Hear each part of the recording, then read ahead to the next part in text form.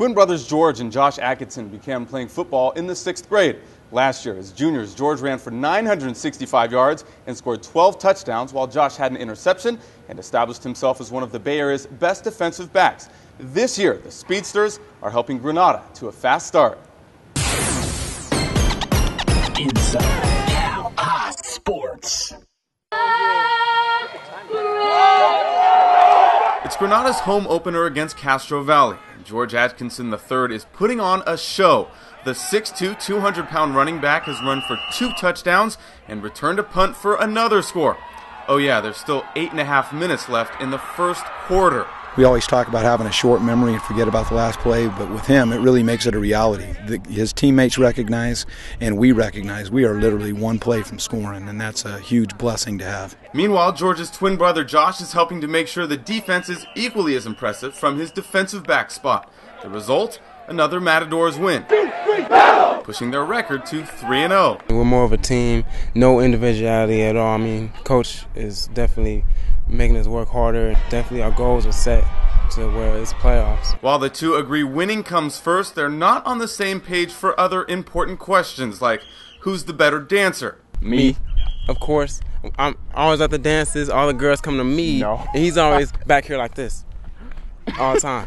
And I'm always dancing. No, he So, can't yeah. dance at all. And how about video games? Me, Madden, No. NCAA. No. It's a wrap. No, Everything. not at all. He hasn't beat me once in oh Madden my gosh. nor I beat him all the time in Madden. It's Usually, 21 skunk. Usually we can't finish the game. 21 he skunk. off. No way, he Usually- shuts it up. That's him. It seems the only thing they agree on is George being one minute older. He's last in I, everything. kick, I kicked him out, so.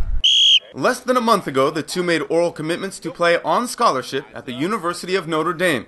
For George, who had offers from national powerhouses like Alabama, it all came down to one thing. I think their education is always going to be life after football, no matter what. You know how far you go, and that's a big deal. Um, my dad talked to me about that, and their education is like top notch. While they grew up with their mom in Fresno, the twins moved in with their father about seven years ago. Oh, and Pops just happens to be Raiders Hall of Fame defensive back George Atkinson II. He still gives out those concussions, man. Yeah, he gives out the concussions. you know, when we daily. mess up, I mean, it's. He's a bad twin, so I don't get most of them. All joking aside, the twins admire their father's honesty and integrity. They've taken my advice, and all I try to do is raise them the way I was raised, and I was raised in the South with good old-fashioned ethics.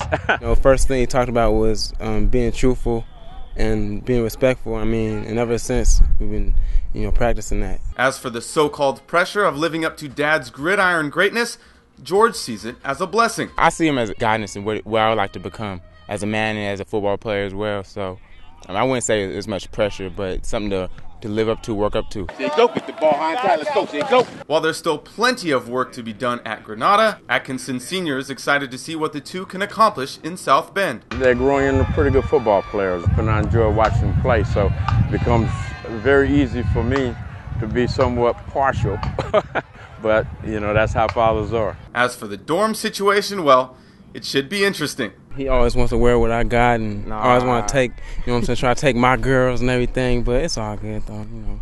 You know, I'm the bigger brother. I'm the role model, so Nah, nah. you know he try. No. He looks up to me No. all the time. So George and Josh are also accomplished sprinters, ranking first and second, respectively, in the North Coast section for the 100 and 200 meter dash the last two years. They're certainly favorites to get back to the state finals in the spring.